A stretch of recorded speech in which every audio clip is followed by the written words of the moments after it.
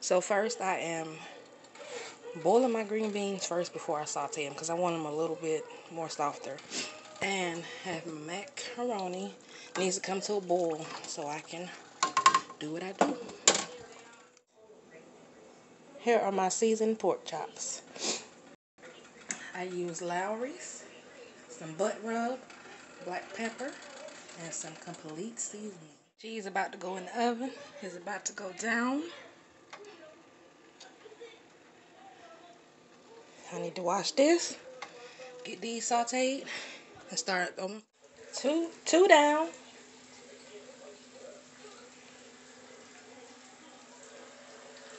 And we got some more. And got some more.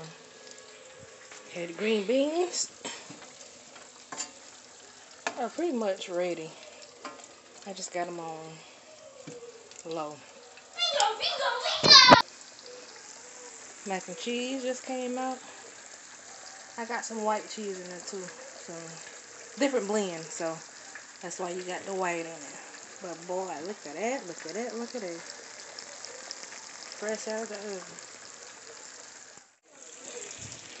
We are almost done. I still got those two and that last one.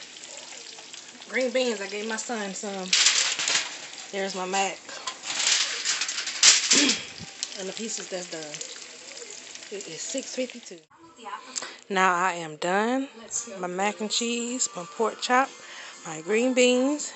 Bon appetit. This is my plate. This is dinner.